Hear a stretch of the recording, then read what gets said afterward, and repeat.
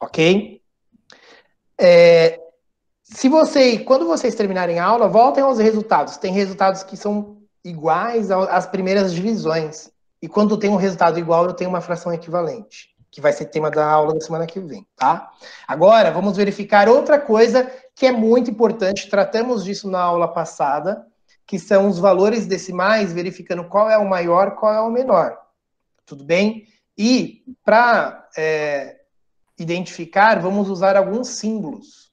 E esses símbolos estarão no Kahoot para vocês realizarem a próxima atividade. Para representar o maior que, eu coloco esse, esse símbolo aqui. E o menor, eu coloco esse símbolo aqui. E também para representar valores iguais, eu coloco esse símbolo de igual. Tudo bem? A pergunta que eu vou fazer agora aqui, qual é o maior? Dois números decimais. 0,28 centésimos ou 0,228 milésimos. Coloquem no chat agora. Qual é o maior?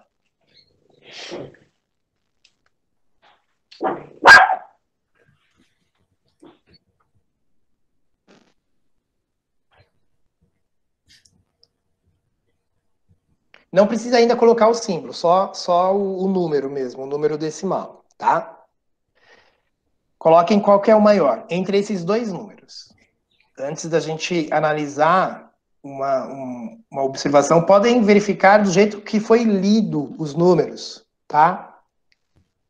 0,28 centésimos ou 0,228 milésimos. Já analisamos a tabela do valor posicional desses números, inclusive esses números que não são inteiros, os números fracionários. E aí é muito simples quando você compreende o valor posicional do número. E a gente vai falar disso agora, tá? Paula, o que você acha? Pois é, ainda tem gente que não entendeu, né, professor? Dúvidas, né? Tem problema. Tá. estamos aqui justamente para reforçar Isso. e tirar de vez essas dúvidas. Carol, tá. tá Presta atenção quando o professor tá lê o número, né, professor? Ele leu Exatamente. certinho, né? E aí, aí dá para perceber já qual que é o maior quando ele fala. Exatamente. A gente pode perceber de várias formas. E algumas Sim. formas não nos permitem errar. São fáceis de perceber.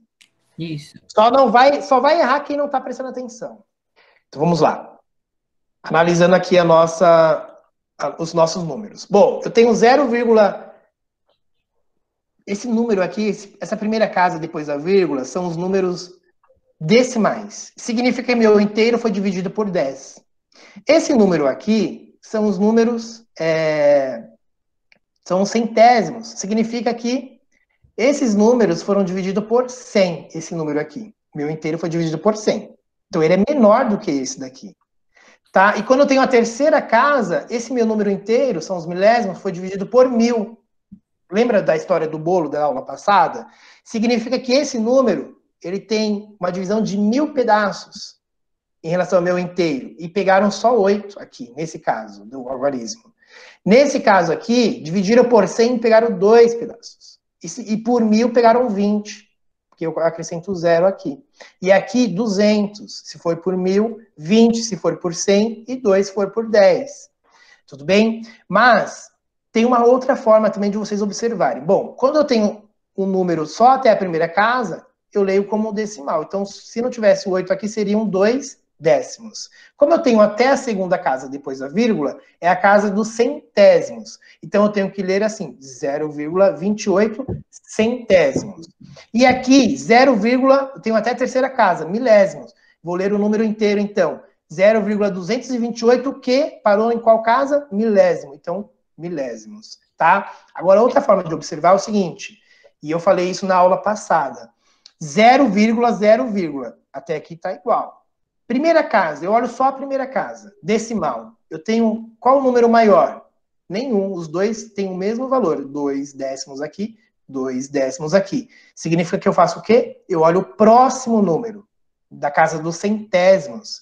E aí eu já tenho uma diferença, aqui eu tenho o número 8 e aqui eu tenho o número 2. Não me importa se eu tenho mais algarismos aqui. porque eles são sempre menores. Então, eu já sei que esse 8, ele é maior que 2. Então, eu já sei que esse número é maior do que esse inteiro aqui. E aí eu vou mostrar isso agora. 0,28 é maior do que 28 centésimos, é maior do que 0,228 milésimos. Por quê, professor? Eu já falei aqui, ó, observa o primeiro número. Se deu diferença, já sabe qual é o maior. Se deu o mesmo número, o mesmo valor, se deram iguais, próxima casa. E você já vai descobrir qual é o maior, qual é o menor. E se eu quisesse transformar esse número aqui em milésimos, para ficar igual aqui, o que, que eu faria? Acrescentaria só um zero. E se eu fizesse a pergunta dessa forma, 0,280 milésimos é maior ou menor que 0,228 milésimos? Olha a palavra milésimos. Agora eu igualei. Aqui, centésimos. Se eu quisesse ler esse número como centésimos, eu só conseguiria ler até o 22. 0,22 centésimos. Não importa se eu tenho algum valor aqui. Ele já está dando menor do que 0,28 centésimos. Tudo bem? Então, para vocês terem certeza, uma grande dica, além da, do valor posicional dos números, é verificar valor a valor, casa a casa, e você já vai distinguir qual é o maior, qual é o menor. E quando eu tenho números a mais aqui, significa que ele está na casa dos milésimos, eu igualo aquele número que não chegou na casa dos milésimos com zero, porque ele representa exatamente isso. 0,28 centésimos é o mesmo que 0,280 milésimos. Tudo bem? Agora não dá para errar. Vamos verificar então. Olha lá, ó, nossa análise. Portanto, 0,28 ele é maior que 0,228. Esse símbolo aqui, ele está aberto para o lado do número maior e ele está fechado para o lado do número menor. Então, ele está simbolizando aqui que esse número que está deste lado, lado aberto, ele é maior do que esse número que está do lado fechado. Tudo bem? Próximo número, coloquem no chat. Qual é o maior? 0,15 centésimos ou 0,2 décimos? 2 décimos. É maior ou menor? Qual é o maior, qual é o menor? 0,15 centésimos ou 0,2 décimos. Coloquem no chat qual é o maior, qual é o menor.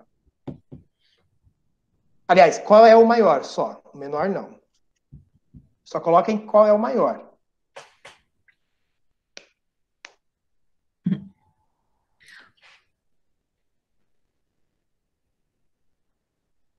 Acho que agora colocou entenderam, professor. Uhum. professor. E o Iago? Cadê o Iago aqui? Então, o Iago, Iago é colocou agora. Né? É, apareceu, Iago. É. Luiz, presta bastante atenção.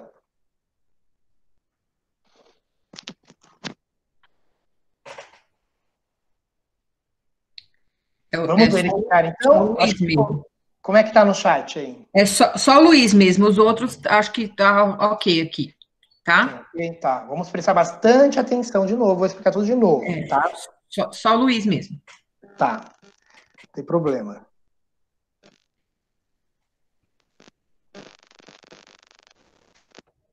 Vamos analisar novamente o valor, esses valores aqui decimais, para identificar qual é o maior qual é o menor. Bom, eu tenho 0,15 centésimos, se eu quisesse ler esse número só com os décimos, seria o quê? 0,1 décimo. Não importa o que ele tem depois disso. E embaixo tem o 0,2 décimos. Lembram-se que eu falei? 0,0, tem uma igualdade aqui. Primeiro número é a casa dos decimais. Aqui eu tenho o número 1 e aqui eu tenho o número 2. Esquecendo o que eu tenho depois aqui. O 1 é maior ou menor que o 2? O 2 é maior ou menor que o 1? Qual que é o maior entre esses aqui? Eu já identifico, então, que 0,2 é um número maior, porque 2, após a vírgula, o primeiro algarismo já está maior do que esse aqui. E se eu quisesse ler esse 0,2 décimos como centésimos, do, da mesma forma que eu estou lendo o primeiro número, 0,15 centésimos. E os 0,2 décimos, como que ficariam em centésimos? Acrescento zero. 0,20 centésimos. A pergunta é a mesma. 0,15 centésimos é maior ou menor do que 0,20 centésimos? Eu já sei que 20 é maior que 15. Então, eu não preciso acrescentar o zero aqui. Eu posso observar só pelo primeiro algarismo, pelo segundo, pelo terceiro. Isso já me dá uma segurança. Mas eu tenho que entender que esses dois décimos é o mesmo que 20 centésimos. Se eu colocar o zero igualando o número de algarismos, eu tenho uma, uma, uma visão mais, mais clara ainda, mais, mais assertiva ainda em relação a qual é o maior e qual é o menor. Vamos verificar então, portanto, 0,15 centésimos, ele é menor que 0,2 décimos, porque eu já sei que 0,2 décimos é o mesmo que 0,20 centésimos, e 20 é maior que 15. Aqui eu tenho dois décimos, aqui eu só tenho um. Então já sei que esse é maior do que esse. Só observando os dois resultados. É importante que vocês entendam que esses resultados são resultados de frações quando eu tenho fração menor. Né? Sempre vão dar números decimais desse tipo, a começar por 0, tá? Então esse símbolo de novo aqui, ele mostra que o número que está deste lado, 0,15,15 centésimos, ele é menor do que o 0,2 décimos. Então, esse lado aberto aqui significa que esse número é maior do que esse. Tudo bem? Por que, que eu estou enfatizando esse símbolo? Porque no Kahoot, vocês irão responder pelo símbolo. Qual é o maior, qual é o menor. E ele vai identificar o lado, tá? Vocês vão, e é uma atividade, inclusive, do EMAI, tá bom? Vamos lá, de novo. Dois números, vou colocar aqui novamente. 0,18 centésimos e 0,170 milésimos. Qual é o maior? 0,18 centésimos ou 0,170 milésimos? Coloquem no chat. Como é que estamos no chat? Parece que está tudo ok agora. Então vamos lá verificar então. Pierre ok, tá? De novo, 0,18 centésimos. Se eu quisesse só ir até a casa dos centésimos aqui, seria 0,17 centésimos. Eu sei que 18 é mais que 17. Tudo bem? Então, esse número aqui é maior. Observando também os números após a vírgula, como eu falei lá no início. Aqui eu tenho o número 1, número 1, uma igualdade. Então, eu vou verificar agora a próxima casa, o valor que é maior. O 8 é maior que 7. Então, já sei que esse número inteiro, ele é maior do que esse daqui. Total aqui, ó. E se eu quisesse transformar esse 0,18 centésimos em milésimos para igualar esse, essa leitura aqui. Eu colocaria um zero lá, ó. 0,180 milésimos, ele é maior que 0,170 milésimos. Tudo bem? Então, vamos para o próximo e último exemplo. Prestem muita atenção, tá? Aqui de novo, só para o nosso portanto, então 0,18 ele é maior, ó, o símbolo indicando para esse lado aqui que o número que está desse lado é maior do que o número que está deste lado aqui, tá? Isso aqui iremos utilizar agora no Kahoot. Bom, último número antes do Kahoot, que vocês só vão colocar qual é o maior, qual é o menor no Kahoot, é super tranquilo. O último número é esse daqui, ó. Qual é o maior? 0,1 décimo ou 0,100 milésimo. Coloquem qual é o maior. Qual é o maior? Atenção, a resposta vai aparecer aqui agora. Nenhum. São iguais. Por que, professor, são iguais? Se eu igualar um décimo com um milésimo, eu acrescento o quê? Zero e zero. 0,1 décimo é o mesmo que 0,100 milésimos. Porque se eu quiser ler esse valor em milésimos, ficaria da mesma forma, 0,100 milésimos. E isso, essa questão ela foi a mais fácil e também é aquela que exigiu mais atenção. A que exigiu mais atenção de vocês. Porque nesse caso eu não tenho maior ou menor, eu tenho uma igualdade. Então, portanto, 0,1 em relação a 0,1 um décimo em relação a 0,100 milésimos, eu tenho uma igualdade. Tudo bem? Prestem bastante atenção, Porque eu tenho um maior, o menor, e eu também posso ter uma igualdade. Tudo bem? Agora, vamos praticar um pouco isso no Kahoot. Não, ter, não terão a necessidade de realizar conta nenhuma, só mesmo a questão de identificar qual é o maior, qual é o menor. São poucas questões. Eu vou pegar o link aqui. Professor, nossa... vai ter mais Kahoot? Aqui não, esse é o último. Depois vai ter só até a semana que vem. Ah, tá. Tá? Vamos lá, vou deixar aqui no chat o Kahoot em relação a esse pedacinho que nós verificamos agora. Iago, dá um joinha. Cadê o Iago? Tô vendo o Iago agora aqui, hein? Dá um joinha. Isso, muito bem. Bom, vamos atualizar novamente. Façam, prestem bastante atenção, que não é difícil. Vamos ver quem consegue o 100%. Será que alguém vai conseguir 100%? Será, Paula, que alguém vai conseguir 100%? Vamos ver, né? Tô, tá chegando ali, ó, parece, né? É, tá. Uhum. Terminou, chegou perto, né? Ah, ele já terminou? Ah, é, tá, terminou ali. Uhum. É, isso aqui ainda estou respondendo. Dá tá para verificar desse lado aqui. Uhum. Então chegou perto. Alguma é. coisa passou desapercebido aí. Foi. Essa atividade é a construção de uma amarelinha. Vocês conhecem o jogo de amarelinha, né? Já conhecem, sabem das regras, o tradicional jogo de amarelinha. Só que essa atividade aqui, ela tem uma diferença. Os números, os valores, eles serão colocados em fração. E vocês irão decidir como é que serão essa organização, quais serão as regras, vocês irão definir. Então, vocês vão criar esse jogo de amarelinha com frações. Depois, definir quais serão as regras desse seu jogo. Vocês vão gravar um vídeo explicando como é que joga o seu jogo com as regras que você criou e vão postar no Classroom essa, esse vídeo e escrever também as regras lá no formulário que está disponível no Classroom, tá? Agora a partir do meio-dia. Aqui eu vou mostrar para vocês duas imagens. Essa é a amarelinha tradicional. Começa do número 1, termina no número 10. Tudo bem? E aí vai aumentando de um em um. Não é assim?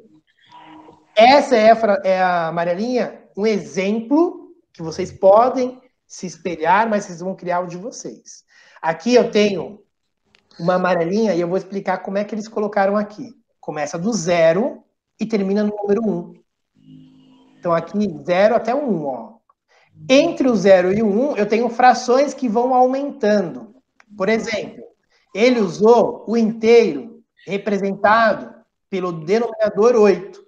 Então, aqui ele pegou um pedaço de oito, um oitavo, próxima, próximo nível, dois oitavos, que é equivalente a um quarto. Fizemos a divisão aqui, 1 dividido por 4, 0,25, 2 dividido por 8 também dá 0,25. Então, eu tenho duas frações equivalentes aqui. Então, 1 oitavo, 2 oitavos com um quarto que é equivalente, 3 oitavos, 4 oitavos, 5 oitavos, 6 oitavos, 7 oitavos e o meu inteiro, porque 8 oitavos é o mesmo que 1. Tudo bem? Eu posso colocar, professor, um quarto aqui, só verificar se vai alcançar até lá. Tudo bem? Eu posso colocar de 0 a 2 e colocar frações aqui? Pode.